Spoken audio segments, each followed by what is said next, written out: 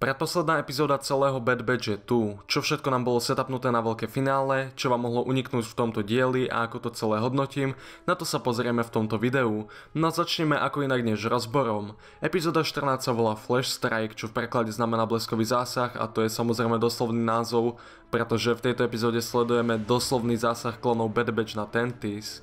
Eko sa prezlečie za TK vojaka, čo je taký bežný trop Star Wars, prezlej sa za nepriateľov a robili to predtým aj kloni, čiže Eko nie je prvý. Keď kloni Bad Batch skáču z lode, ktorá ide havarovať, všimnite si, že Wrecker tu nenamieta na výšky, pritom to bol doteraz jeho veľký strach. Ja som čakal, že aspoň niečo spomenie, no ale možno to nejako prekonal. V epizóde môžeme sledovať zaujímavý kontrast medzi Rampartom a Crosshairom. Dosť možno by Crosshair dopadol podobne ako Rampart, keby sa neudobrel s jeho bratmi, bol by len sám a bojoval by za seba, ale teraz bojuje aj za dobro ostatných. No a zároveň Rampart nám aj trošku pripomína, kým bol Crosshair na začiatku tejto série. Omega sa podarí opustiť jej celú a nájde túto miestnosť, kde Imperium skúma Zilobist, čo je tento obrovský tvor, ktorého sme mohli vidieť už predtým v Clone Wars alebo v minulej sérii Bad Batch. Zaujímavá vec na tomto tvorovi je to, že má hlavne tento pancier a ten nevie zničiť ani svetelný meč, čiže je veľmi odolný. No a možno je to aj ten dôvod, prečo Palpatine má Zillow na Mount Tentis, aby Imperium mohlo vytvárať brenenia pre vojakov, ktoré by dokázali odolať svetelnému meču, čiže by boli dobrí na boj s Jedimi. Epizóda končí s Ekom, ktorý stretne Emery. Na Emery sa rozhodne pomôcť Ekovi, lebo chce zachrániť tie deti, ako nám bolo tiež kúsok setupnuté v 10. epizóde. No a idú ich oslobodiť. Čiže máme tu v tomto bode asi akési vykúpenie Emery by som povedal. Toto bol už ten zlomový bod. No a na konci tam vidíme Omegu, ako si je istá, že jej bratia ju idú zachrániť a má plán. No a o tom pláne sa ešte porozprávame. Ale toto je všetko, čo sa týka epizódy. Je to predposledná epizóda, ale nič moc tu nebolo na rozobranie, takže ja som vám tu zhrnul nejaké tie dôležité veci. Ale poďme sa pozrieť na nejaké teórie, čo nás čaká ďalej v tom finále. V prvom rade od začiatku epizódy vidíme Eka šparať sa v počítačoch na Tentis a zistuje rôzne dáta. Podľa mňa mohol kontaktovať Rexa na diálku, možno mu nejako poslať súradnice a Rex by mu tak vedel prísť pomôcť na tenty s nejakými ďalšími klonmi. Naše hlavné postavy teraz nemajú veľmi šancu, ako vidíme, čiže pomoc by sa zišla a myslím si, že v tomto bode je už asi aj jasné, že Rex musí prísť na pomoc na Tentis. V druhom rade, to, že sme videli Zillo Beast je podľa mňa setup na to, čo urobí Omega v ďalšej epizóde, čo je ten spomínaný plán Chce oslobodiť Zilobis, nech im pomôže v úteku a v boji na Tentis. To by tiež dávalo celkom zmysel, no a ešte nech nezabudnem, Rampart bol chytený vojakmi Impéria, čiže myslím si, že kloni Bad Batch teraz budú mať konflikt, či zachránia aj Ramparta, keď už tam každého idú zachrániť? A ak by zachránili Ramparta, mohlo by to byť zaujímavé, lebo tým pádom, ak by ho zachránili bez toho, že by niečo od neho potrebovali, tak by to mohlo aj možno zmeniť Rampartovú perspektívu, aj on by sa z časti vedel vykúpiť a zmeniť nejako názor. No ale inak neviem čo veľmi čakať od toho finále, lebo veľa vecí nám tu až tak nebolo setupnutých v tomto dieli, čo je také čudné. A je to divné vzhľadom na to, že aj stopáž poslednej epizódy nie je známa a ak tu bude mať len takých tých bežných 25 minút, tak fakt neviem, koľko tam toho vôbec narvu. Ale ak by tá epizóda mala naopak nejakých 70 minút, ako mala prvá epizóda tohto seriálu, no tak neviem, tam by sa aj dali dať nejaké zaujímavejšie veci, možno nejaká iná interakcia s Palpatínom, kedy by sa dozvedel o nejakých problémoch na Tentise a sú tam projekty, na ktorých mu záleží, čiže určite ak by sa niečo pokazilo, tak by tam prešiel osobne. A nejaké ďalšie kamea neviem či očakávať, hlavne by som sa teda spolahol na Rexa a nejakých ďalších klonov. Sid by sa teoreticky mohla ukázať, keď už je to akože záver seriálu a Sid bola celkom taká tá dôležitejšia postava a keď už sa aj v tejto série vracali postavy z minulých sérií, tak je divné, že síce ešte neukázala, čiže mohla by sa teoreticky vrátiť. No ale poďme sa teraz pozrieť na nejaké moje dojmy z epizódy a čo si myslím o tom, že kam tento seriál teraz speje.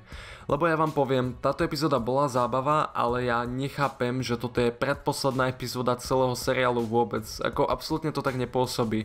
Možno ak by to bola nejaká taká tá séria, ktorá nie je posledná, aj by som to bral, ale toto veľmi nie. Aby som začal nejako pozitívne, čo sa mi páčilo. Som rád, že Rampart je s nimi v tomto probléme, pretože nebola iná možnosť a tak ho tu museli zatiahnuť. Ako bavilo ma to sledovať aj ten jeho rozhovor s Crosshairom a nejaký ten kontrast medzi nimi. Áno, to sa mi páčilo, to bolo fajn. Aj to, že Ramparta dávajú do iných situácií, v akých sme ho videli predtým, hej, čiže je to proste vtipné sledovať, to ma bavilo. A tiež musím pochváliť ako akcia na začiatku, ako tam vidíme akciu vo vzduchu, tá je výborne zrežirovaná, aj tá animácia tam je nádherná. A ja viem, či si overíte, že prečo to tak prehnane vyzdvihujem, keď akcia v Bad Batch nikdy nemala nejaké problémy, tak ja to tu chcem vyzdvihnúť, lebo je to proste zábavné na sledovanie. No napríklad u Rebels, u tej štvrtej sérii by som vedel dosť vytknúť nejakú tú akciu, že je celkom nudne zrežirovaná, ale je vidno, že ten tým sa celkovo viac posunul, ako je jasné, že nerobia na tom úplne tí istí ľudia, ale áno, nejako sa poučili z minula a tá akcia je zrežirovaná oveľa zábavnejšia, to tu musím vyzdvihnúť. A tiež viac do tejto epizódy zakomponovali Eka, čo je výborné, robí tu niečo dôležité, má tu väčšiu rolu, ja som len spokojný, nemám sa na čo stiažovať. No ale teraz sa poďme pozrieť na veci, ktoré sa mi nepáčili, tých je tu bohužiaľ viac. No, tak toto v prvom rade nemôže byť preposledná epizóda celého seriálu vôbec, lebo to spôsobí, že tu budeme mať len urýchlené finále a chceme niečo také, lebo budeme mať poslednú epizódu vôbec, ale nemáme na ňu akože nejaký veľký setup, ako dobre, máme tu veľkú akciu na Tentis, ale to je všetko ja neviem, neteším sa na nejaké možné konfrontácie, bude to čisto len akcia, zachrana Omegy a ďalších klonov a detí. Ako nie je tu nejaký setup na nejaké zaujímavé veci a konflikty, takže to mi celkom vadí. Uh, jediné, čo si myslím, že bude mať fakt potenciál je keď sa Crosshair vráti na Tentis a možno tam bude čeliť nejakým veciam, ktorým čelil aj vtedy, keď tam bol zajatý a neviem, možno sa nejako zbaví uh, toho PTSD, čo má, alebo neviem. Viem, že s Crosshairom by mohli urobiť niečo zaujímavé, to je asi moja najväčšia nádej, čo teraz vkladám do toho finále. Ale inak, ako vravím, nie je tu nejaký veľký setup a to mi vadí. A poďme sa pozrieť na vykúpenie Emery, ktoré som jemne spomenul v tomto videu, lebo to bola tak o ničom scéna, ako fakt nič zlom, ako to bude v prvom rade aj preto, že Emery nemala toľko priestoru a až tak sa mi nepredala ako postava, ale ona má nula nejakej empatie a emócií, a to vykúpenie, kedy pomohla Ekovi, neviem či čakali, že si poviem, že proste wow, ako fakt cool twist, ale nie je to tak, lebo Emery tam dáva ako relatívne nula emócií, uh, Eko ju nejako konfrontuje, ono to hneď dole zo stolu, je to také divné a preto Bad Batch vie robiť aj takéto scény. Niekoľkokrát sme tu mali dosť emotívne momenty s Crosshairom a ostatnými klonmi Bad Batch a tam to hitlo oveľa inak, ale tu naproste si nevedeli s touto postavou asi veľmi rady a fakt ma to nejako nebavilo. Tiež vám musím povedať, že Hemlock je taký divný záporák, ako je to bežný imperiál, možno je kúsok zaujímavý tým, že je to teraz doktor a robí nejaké experimenty, ale inak by to bol fakt, že bežný imperiál. Skôr mi vadí, že nie je prekreslený a je to fakt taký celkom generický záporák, čo je celkom škoda a viem si predstaviť, že asi najzaujímavejší záporáci, ktorí môžu byť v tom finále je Scorch a Clone X, ako to sú fakt, že asi najzaujímavejšie konfrontácie, čo tam môžeme mať, lebo sú to jediní kloni, čo by vedeli nejako viac potrapiť naše hlavné postavy. Ale celkovo aj tie dve postavy, ktoré som spomenul, sú také čudné, pretože Scorch ani sa nebavme o tom, čo s nimi urobili, potom čo tu vrátili z legend. A Clone X, ako jo, to môže byť taký zaujímavý nejaký konflikt možno s tými klonmi, keď zistia, že je to v podstate klon ako oni, len je celý vymitý, tak tam môžu robiť niečo zaujímavé, čiže aspoň na to som relatívne zvedavý. No a tiež mi príde tam aj blbé tá linka s tou Omegou, OK, má nejaký svoj plán, to je fajn, že aspoň niečo robí v tých posledných epizódach, s tým nemám problém, ale to ako tam počuje vystrely kanonov až do toho skrytého voltu, to je tiež také, tiež také čudné, neviem.